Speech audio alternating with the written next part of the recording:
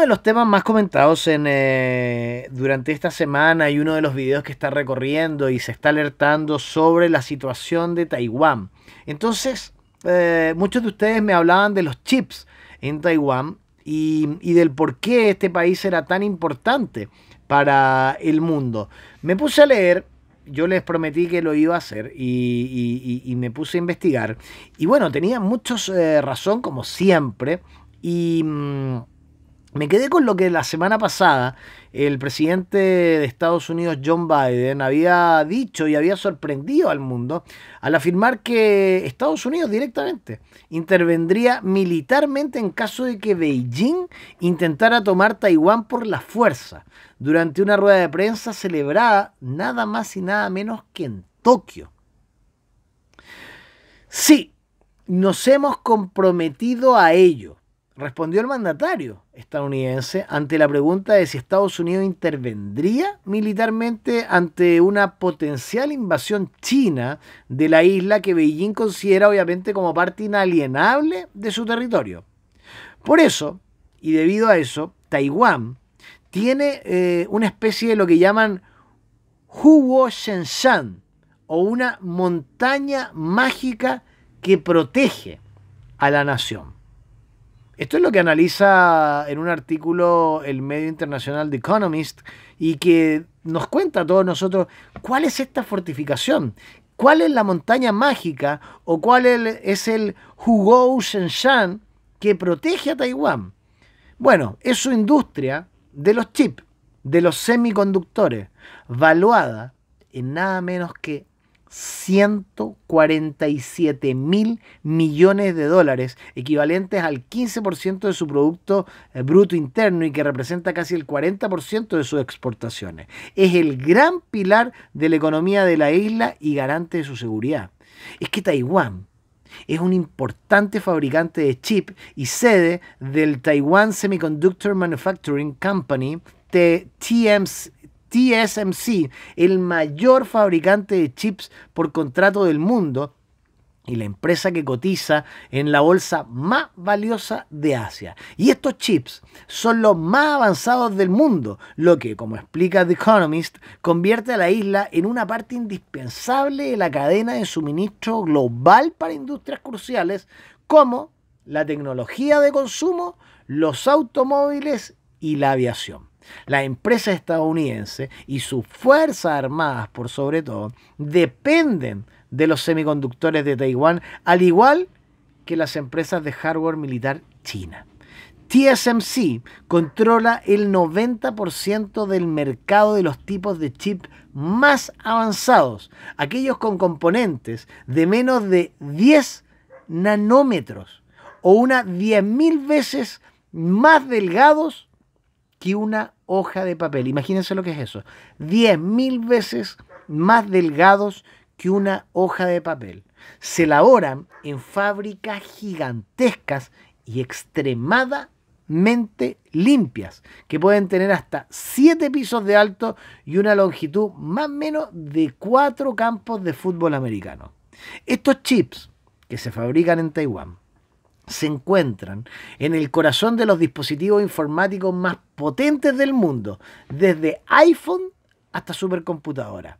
Solo hay otras dos empresas que fabrican estos semiconductores, Intel y Samsung. Ellos pueden fabricar semiconductores que se acerquen al nivel de sostenibilidad sofisticación de los de TMCNC, pero su tecnología no es tan buena como la de TCMC, ni están innovando tan rápido como los taiwaneses. Los semiconductores plantean, ah, la forma en que funciona el proceso de fabricación complejo, que implica la manipulación, atiendan bien, de partículas subatómicas para crear de una forma súper precisa de luz un grabado ultravioleta que involucra muchos niveles de secretos comerciales que los rivales, como China, están desesperados por adquirir. Los semiconductores plantean un problema grande y creciente no solo para China, sino que para el mundo. Pero en el caso de China, el gobierno se ha fijado el objetivo de producir el 70% de sus propios chips para el 2025. Estableció un fondo nacional de semiconductores de atiendan bien.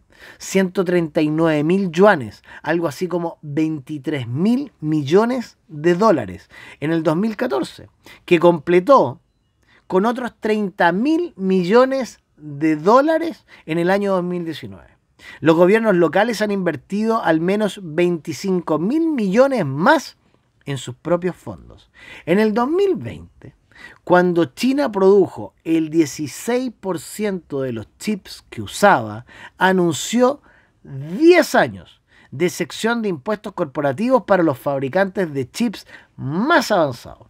Este año, Estados Unidos restringió, ese año, ¿se acuerdan? Que Estados Unidos había restringido las exportaciones de equipos de fabricación de chips al principal fabricante de semiconductores de China. Esto es lo que informa The Economist. ¿Qué va a pasar en Taiwán? ¿Qué pasaría si China se anexara, en realidad desde la vista occidental, se anexara Taiwán, desde la vista oriental, recuperara su territorio que actualmente se considera independiente. ¿Qué pasaría si China recupera de una mirada o se apodera de otra mirada de la industria más avanzada de chips del mundo? Definitivamente tendría el control global de los chips más avanzados del mundo en estos momentos. El día de ayer, 30 aviones de combate chinos sobrevolaron territorio taiwanés. La última incursión, la más grande en la historia, había sido hace unos meses atrás de 39 aviones. Los 30 aviones sobrevolaron Taiwán luego que la comunidad pacífica de Asia rechazara un convenio de seguridad con China. Y en estos momentos en redes sociales, en canales de YouTube y con informaciones no confirmadas por medios oficiales, se habla de movimientos en la flota china. Así que todos en Asia Pacífico están bastante nerviosos con respecto a lo que pudiera suceder en Taiwán. Ahora ya sabemos, o ahora por lo menos yo ya lo tengo más claro gracias a ustedes y espero que muchos de ustedes los tengan aún más claro gracias a mí de por qué es tan importante finalmente Taiwán para el mundo y para China. Nos vemos en los próximos videos. Les recuerdo a todos que estos videos no se financian con aportes eh, de partidos políticos, fundaciones, ONGs o con tus impuestos. Estos videos se financian gracias a los aportes económicos libres y voluntarios de personas como ustedes que valoran mi trabajo. Si puedes aportar económicamente y libremente con este canal, lo puedes hacer a través del botón unirse abajo de este video. También lo puedes hacer a través de las distintas plataformas que tengo para ti. Lo puedes hacer a través eh, de la cuenta root, los datos están abajo de la caja de este video, como así también lo puedes hacer en el link eh, nacional de pago fácil con distintos métodos de pago. También puedes ser mecenas mes a mes a través de Patreon, puedes enviar tus limosnaciones tus aportes económicos libres y voluntarios a través de PayPal y también lo puedes hacer a través de MoneyGram. Desde ya, muchas gracias a todas las personas que pueden apoyar esta batalla cultural mes a mes. Si tú no lo puedes hacer, hay muchas otras maneras eh, como aportar a esta batalla cultural. No te preocupes, suscríbete al canal, activa las notificaciones, eh, comparte estos videos y por supuesto, activa las notificaciones en tu teléfono celular. Desde ya, bienvenido y muchas gracias.